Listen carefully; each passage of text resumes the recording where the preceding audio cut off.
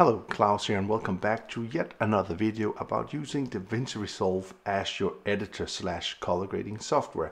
A couple of episodes ago I made an episode about how to remove junk from your shot you don't want there and I claimed that I knew two methods of doing so, but since I was in the first beta version of DaVinci Resolve 15, something went wrong and I couldn't make the tracker work. So now there has been an update, so now I can do the second method of how to remove junk from your shot. So let's do it right now. Let's go to the edit suite.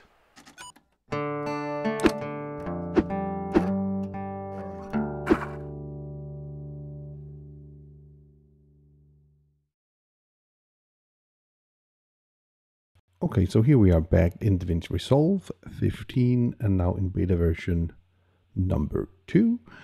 Um, this is like a follow up on a tutorial I did a couple of episodes ago about removing junk from your scene. And, and back then there was something wrong with my version of the beta one at least, so the tracking didn't really work that well. So just continue from last time. So here we have our clip. So let's go to, and we can actually, before we go to the color tab, let's see what's wrong with the clip actually. So this is what's wrong. You see this one? It's, uh, I don't know what it is. Let's call it junk. Junk in my shot I don't want.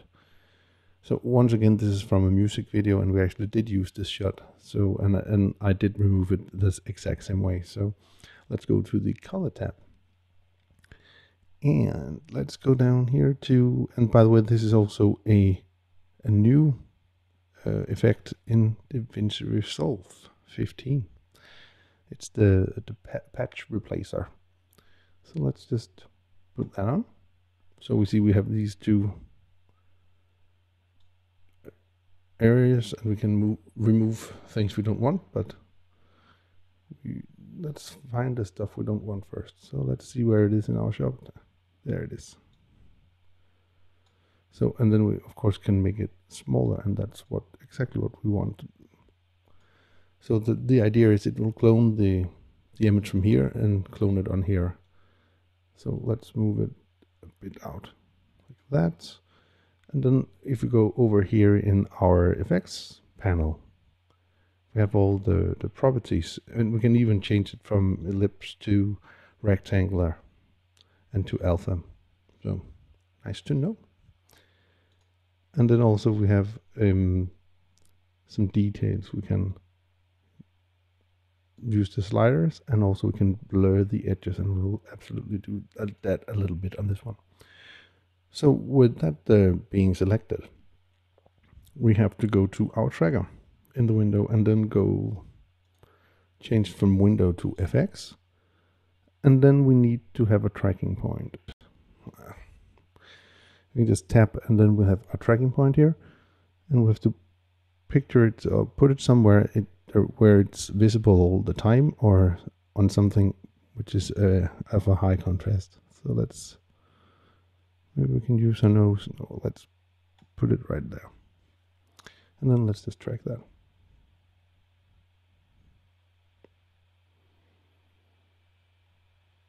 And you see, it, it was not good. It was not uh, tracking it that well.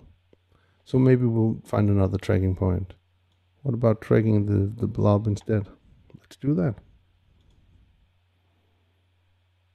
So let's backtrack. So now we are tracking our blob here, which looks quite right. And then we just will remove this point. So, and then we have to see where it actually comes out, it's there.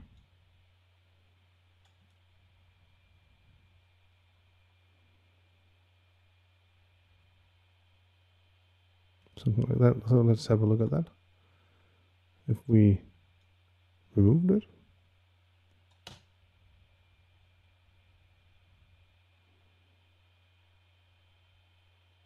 So there you have it. All gone.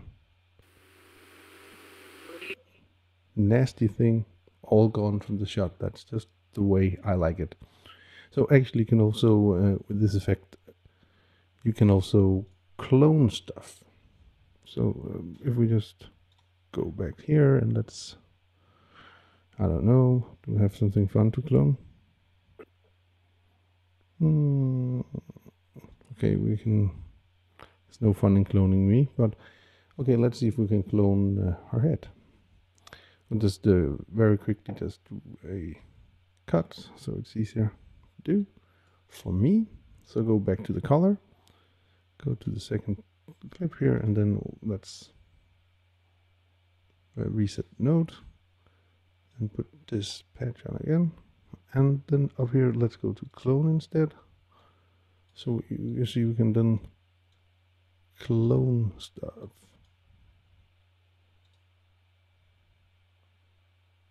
If we, if we wanted to, you know. So we can,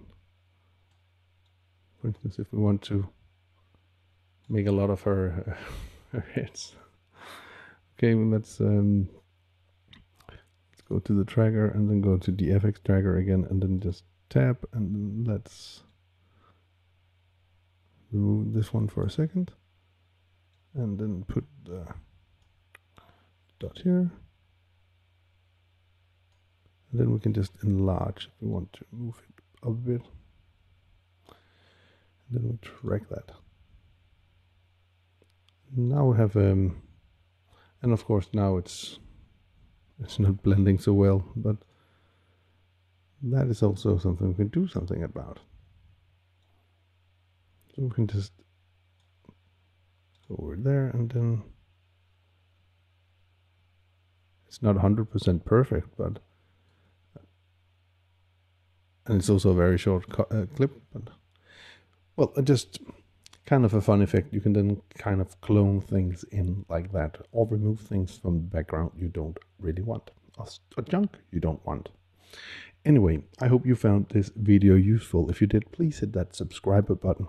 Give the video a like, share it with your friends if you think it will help them out. And if you want to be notified every time there's a new video on our channel, please hit that bell icon down in the corner. Until next time, keep filming, keep learning, and keep sharing.